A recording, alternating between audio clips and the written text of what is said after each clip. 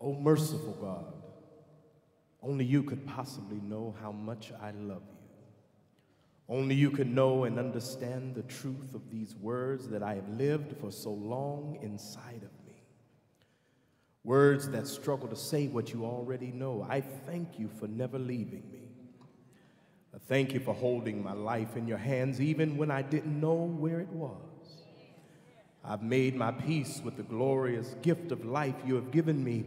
No fear or hatred do I hold. With all things of the world, I am now at peace.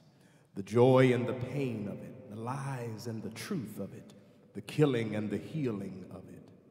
Now, in my final hour, I've come to understand that I could never become what I have prayed to become, for it is the fullness of you that I have always wished to become and through the door which leads to that fullness my flesh could never pass. Now, with gladness, I greet the shadows and the light that have gathered around me, for I know that it means I will soon be with you and come to know you only as the Spirit could know and be with you. Great is the name of the Lord.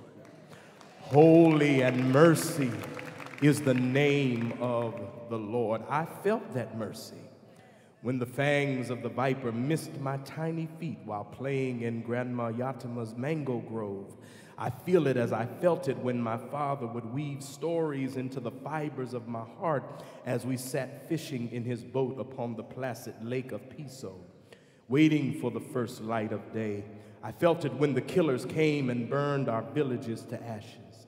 I felt it when through the door of the evil they took my mother, my cousins, my uncles, my aunts, I felt it went into the hole of their wooden ship. My eight year old body was cast. Jonah I was, Lord, in the belly of the beast.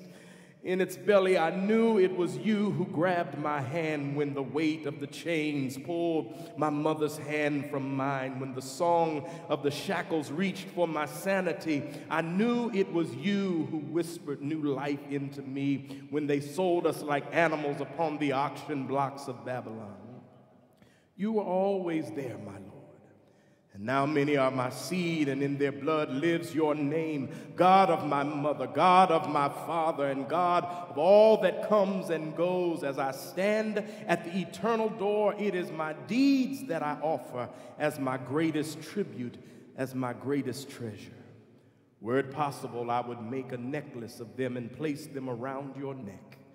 And now, with the last of me, which was once the first of me. I ask your mercy upon this world and upon my soul.